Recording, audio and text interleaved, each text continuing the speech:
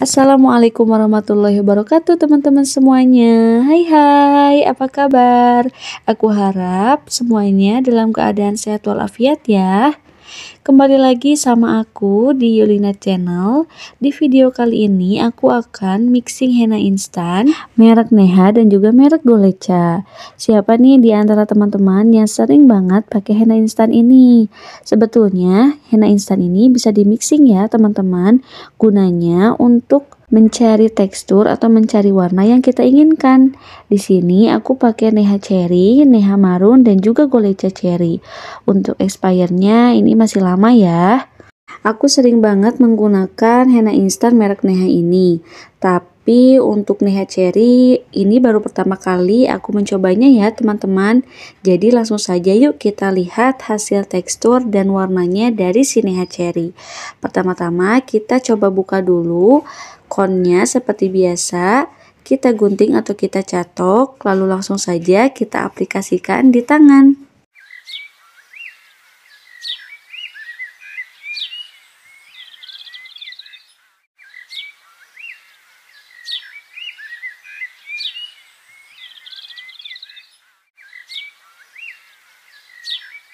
Pertama-tama aku bahas dulu dari segi tekstur. Di sini aku merasakan bahwa tekstur neha ini seperti biasa, dia itu padat dan membuat lukisan kita itu menjadi lebih rapi dan juga tidak melebar ya yang pastinya. Karena kalau henna cair itu pasti membuat lukisan kita itu menjadi melebar dan tidak rapi. Sekarang aku coba mengeluarkan isinya di atas tisu supaya teman-teman bisa melihat secara jelas ya. Kalau aku pribadi, mungkin aku akan mixing neha ini supaya saat aku pakai si nehanya itu, saat dikeluarkan jadi lebih mulus.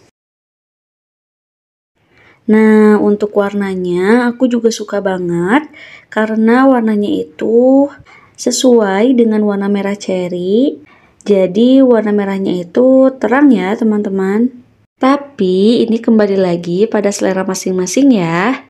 Jika teman-teman nyaman menggunakan henna dengan tekstur yang padat, Neha ini bisa menjadi pilihan untuk teman-teman pakai. Untuk melihat hasil warna akhirnya, kita tunggu kering dulu ya. Sekarang langsung saja yuk kita mixing ketiga henna instan ini. Pertama-tama, teman-teman siapkan mangkuk atau wadah Biasanya aku menggunakan wadah ini untuk mixing henna ya teman-teman.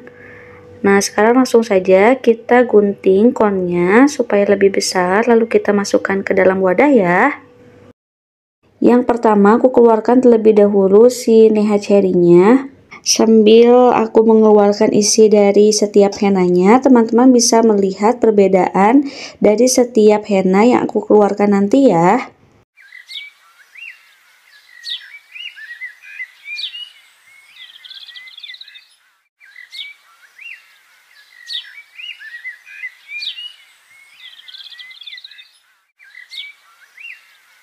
Selanjutnya aku keluarkan isi dari neha marun. Menurut aku, cara membedakan henna yang padat dan cair itu saat kita keluarkan si isi henanya seperti ini. Lalu isi henanya itu turunnya lambat, pertanda kalau si henanya ini memiliki tekstur yang padat dan kental.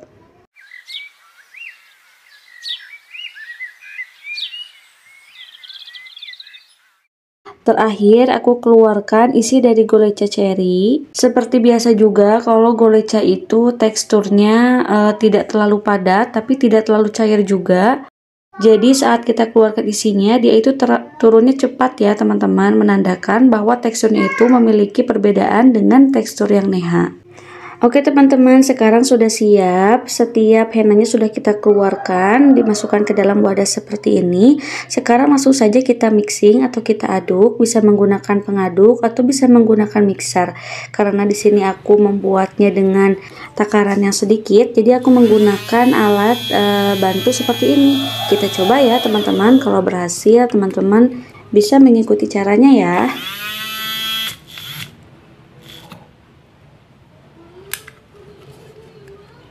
Aku mohon maaf banget, ternyata ini alat bantunya tidak bekerja ya teman-teman. Ini aku belinya secara online dan ini tuh sebetulnya pengaduk telur gitu. Ternyata saat aku pakai di adonan seperti henna yang kental seperti ini dia tidak berfungsi ya. Gunanya alat bantu seperti ini tuh sebetulnya untuk membuat hasil mixing kita itu menjadi lebih rata dan tidak ada warna yang sedikit menggumpal antara satu sama yang lainnya ya teman-teman. Jadi benar-benar tercampur secara merata. Nah, karena ini tidak berfungsi, jadi aku menggunakan spatula saja ya untuk mengaduknya. Oke, langsung saja yuk kita mengaduk dan mixing semua henna yang sudah kita siapkan. Nah, seperti ini teman-teman, jika kita tidak rata mixingnya, jadi dia warnanya terpisah satu sama lain, jadi belum menyatu ya. Sekarang kita benar-benar mixing dan mengaduk secara merata sampai semuanya bercampur rata.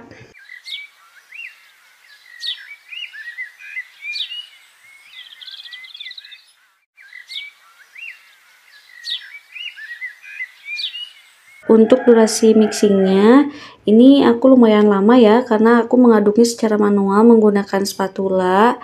Jadi aku benar-benar ingin menghasilkan uh, warna henna yang merata, jadi tidak ada warna yang terpisah-pisah.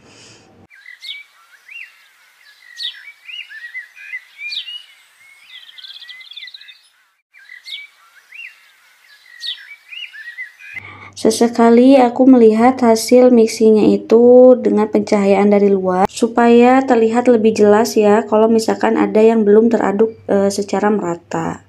Oke balik lagi sepertinya ini henanya sudah cukup ya kita mixing.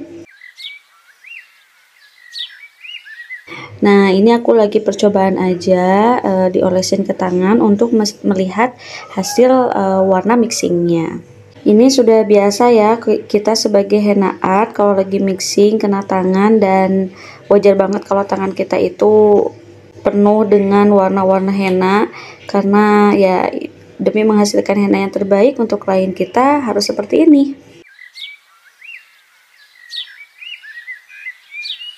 Langkah selanjutnya, teman-teman siapkan plastik segitiga. Di sini aku pakai plastik yang biasa aku pakai untuk masukkan adonan kue. Jadi teman-teman masukkan aja hasil mixing henanya ke dalam plastik ini supaya nanti saat kita keluarkan dan kita masukkan ke dalam kon, henanya itu bisa masuk dengan rapi ya.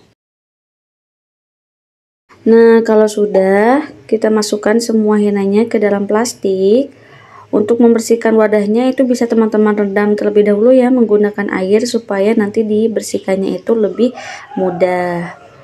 Nah, sekarang aku tali bagian ujungnya supaya tidak keluar.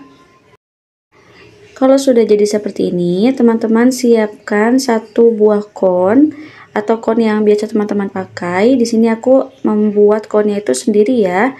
Bagi teman-teman yang belum bisa membuat kon sendiri, bisa teman-teman cek ada uh, video aku cara membuat kon henna sendiri. Nah, seperti ini ya maksud aku. Jadi saat dimasukkan ke dalam konnya itu, hennanya bisa masuk secara rapi dan tidak melebar ke mana-mana.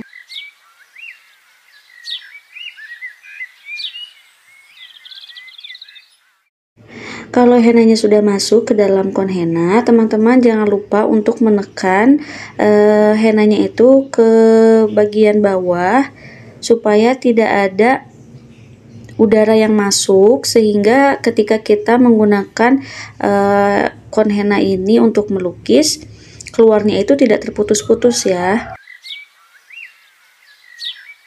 Nah kalau kita mendapatkan kendala melukis henna dengan hennanya itu mampet-mampet atau keluarnya enggak mulus itu bisa kemungkinan di dalam hennanya itu Maksudnya di dalam konhenanya itu ada udara yang masuk, jadi menyebabkan kita melukisnya itu terputus-putus. Alhamdulillah henanya sudah siap untuk kita pakai ya teman-teman. Sekarang kita lihat yuk hasil dari tekstur dan juga hasil dari warna henna yang kita udah mixing tadi. Oh iya, ini hasil dari Neha Cherry yang sudah kita lukis tadi ya teman-teman. Ini udah kering, langsung saja kita kelupas. Dan ini dia hasil warna dari Neha Cherry-nya teman-teman. Wah, cerah ya untuk warnanya. Gimana teman-teman suka nggak dengan Neha Cherry ini? Bisa teman-teman coba ya. Sekarang kita buka dulu kon henna dari hasil henna yang udah kita mixing. Nah, kalau udah langsung aja kita lukis. Kita samakan aja dengan bentuk elemen yang sebelumnya. Nah, pertama dari segi teksturnya ini udah pas banget dengan henna yang biasa aku pakai. Nggak perlu pakai tenaga untuk mengeluarkannya. Jadi dia itu keluarnya itu uh, mulus banget. Dan ini udah sesuai sih dengan harapan aku mendapatkan tekstur henna yang pas seperti ini.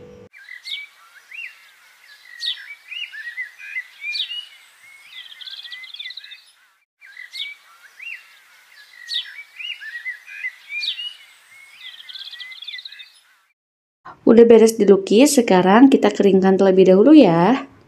Set. Nah, ini dia hasil dari warna henna mixing kita tadi. Bagaimana teman-teman? Udah bisa melihat perbedaannya belum saat teman-teman pertama kali melihatnya? Menurut aku yang melihat secara langsung ini ada perbedaannya. Warna mixingnya itu warnanya merah, bener-bener merah seperti merah cabai Sedangkan yang Neha Cherry itu agak sedikit terang ya dibanding hasil dari mixing kita tadi. Udah sih cuma itu aja perbedaannya. Yang mixing itu lebih pekat aja dibanding dengan Neha Cherry. Ya tentu ya karena kan mixing itu kita menggunakan yang warna marunnya juga. Jadi ya pasti ada perbedaannya. Ini saat aku menggunakan cahaya dari luar. Ini hasilnya.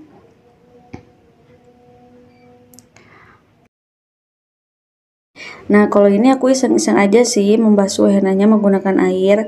Ya, siapa tahu ada perubahan warna gitu. Ternyata enggak ya, enggak mungkin secara langsung ada perubahan warna. Oke teman-teman, kita sudah di penghujung video. Terima kasih untuk teman-teman semuanya yang sudah tonton videonya dari awal sampai akhir. Aku harap video ini bisa bermanfaat untuk teman-teman semuanya. Uh, jangan lupa untuk like, share, dan juga subscribe untuk support channelku terus berkembang. Aku mohon maaf apabila ada kesalahan. Kita bertemu di video selanjutnya ya teman-teman. Aku pamit dulu. Assalamualaikum warahmatullahi wabarakatuh. Dah.